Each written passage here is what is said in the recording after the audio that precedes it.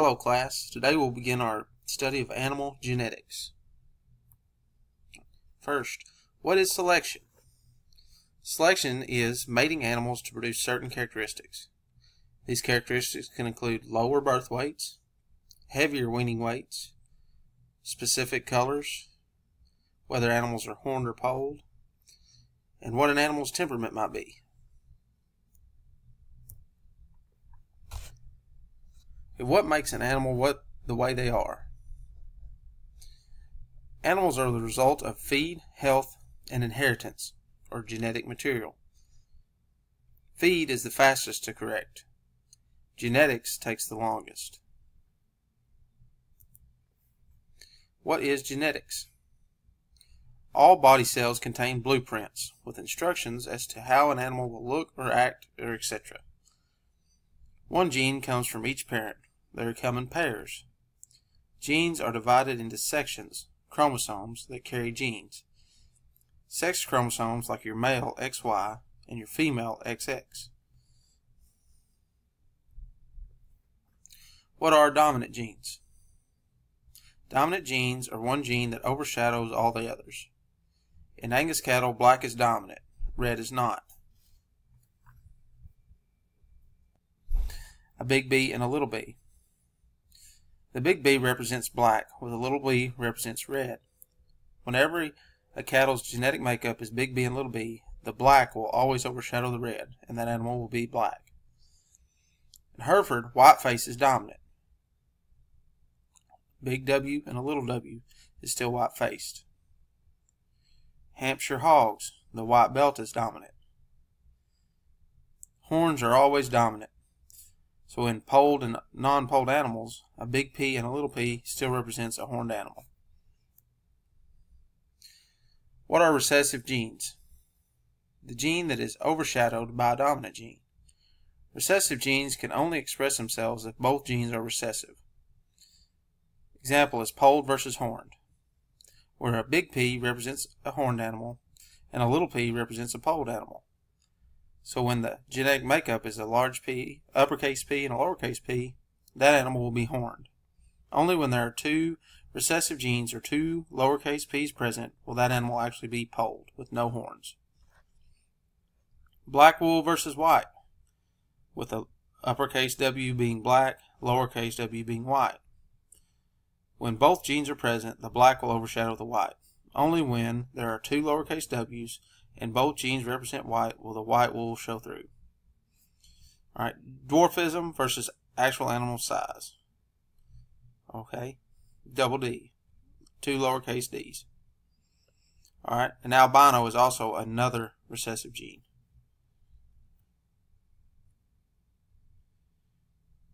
Okay, the Punnett square method. An uppercase P equals a horned animal. Lowercase p represents a polled animal.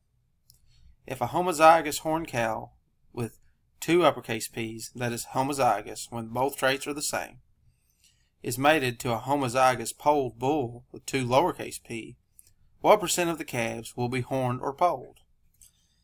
To find this, we can use the Punnett square. In the Punnett square, across the top you put one parent in this case is the homozygous horned calf, with two uppercase P's. Along the side of the Punnett square, you put the homozygous polled animal with two lowercase p's. And in each block of the square, you just match up the genetic traits that's shown corresponding to it. This one will have uppercase P, lowercase p, and so forth. When a homozygous polled animal is mated with a homozygous horned animal, there will be 100% horned offspring. But each offspring will have will be heterozygous where each the horned and the polled trait are present. If a homozygous horned cow, two uppercase P's, is mated with a heterozygous horned bull, what percent of the calves will be polled?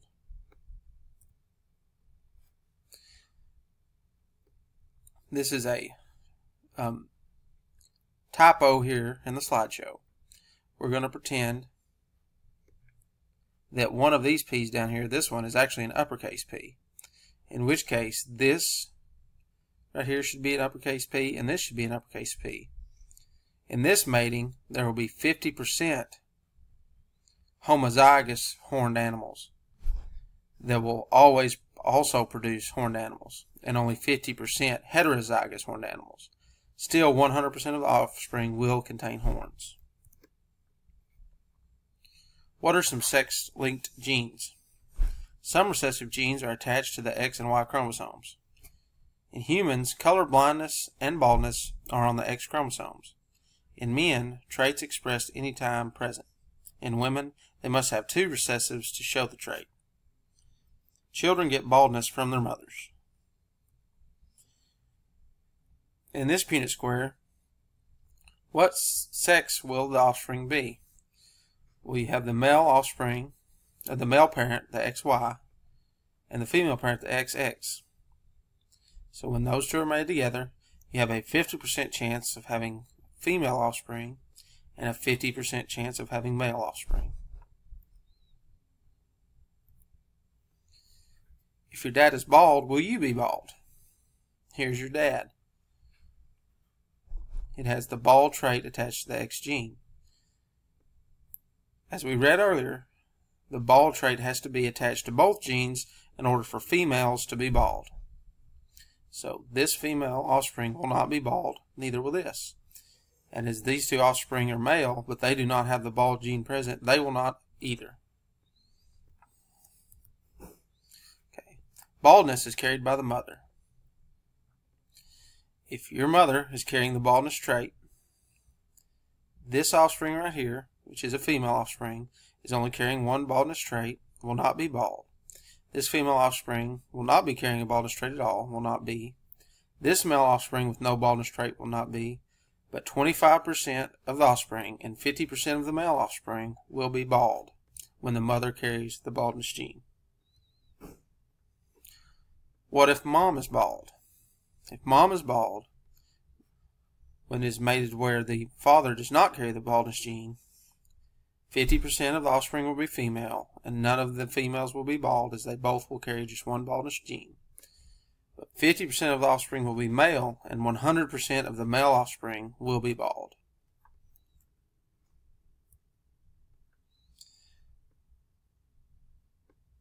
What is incomplete dominance? If both genes express themselves.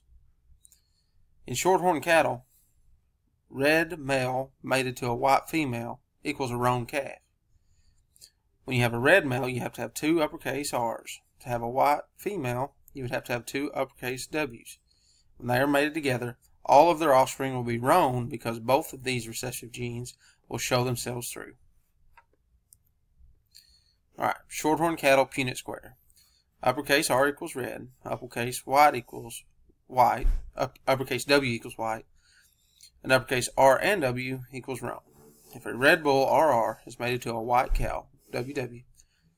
What color will the calves be? In this Punnett square example, you have the RR across the top, the WW across the bottom. 100% of these offspring will be RWs, which are roan calves. If a Red Bull RR is mated to a roan RW cow, what color will the calves be?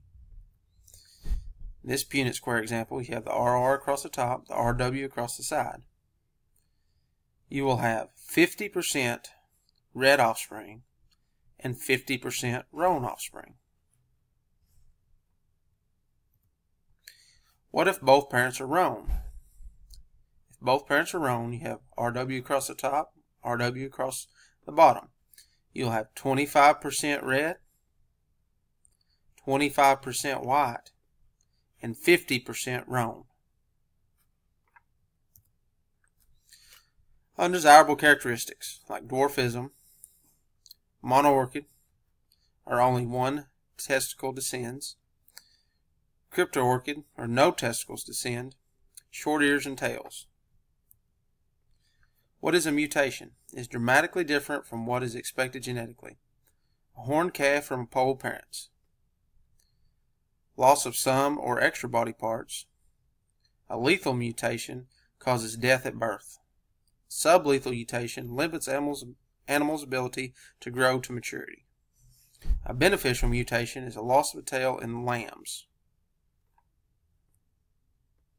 What is an abnormality? Similar to a mutation, only it is caused by something in the environment, like Siamese twins. What is heritability? It is a chance that traits will be inherited. Low heritability is multiple births and fat covering.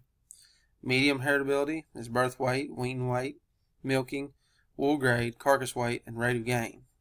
High heritability is loin eye area, fleece length, and quality. Currently, having ewes that wean 70 pound lambs, want to raise weaning weight to 110 pounds. You need to select a ram with a weaning weight of 110 pounds. The heritability of weaning weight is 30%. What can you expect a new lamb crop to weigh at weaning? What is the difference in the current weaning weight and that of the new ram? It is 40 pounds difference, 70 minus 110. Heritability percent times the difference, that's 30%, times 40 equals 12 pounds. You can expect a gain in weaning weight of 12 pounds. So 70 plus 12 pounds equals 82 pounds. A random mating is where all males have an equal opportunity to mate with all females. An outcrossing mating is mating purebreds with unrelated purebreds. Inbreeding is mating related animals. Line breeding is mating parents mated to their offspring. Crossbreeding is mating animals of same species but different breeds. What is hybrid vigor? Offspring will outperform either of the parents. Corn breed A is 100 bushels an acre.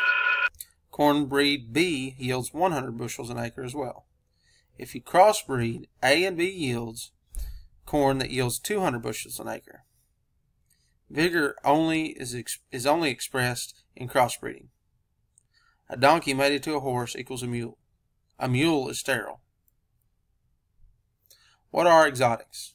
Exotics are animals not common to the United States. It's difficult to define that today. New breeds are exotics. Genetic terms. Genotype is the genetic makeup, hence the uppercase B and lowercase b. Phenotype, physical appearance, such as black. Heterosis, genes are different, dominant, and recessive, uppercase B, lowercase b. Homozygous, both genes are the same, two uppercase b's or two lowercase b's. And that concludes our lesson on animal genetics.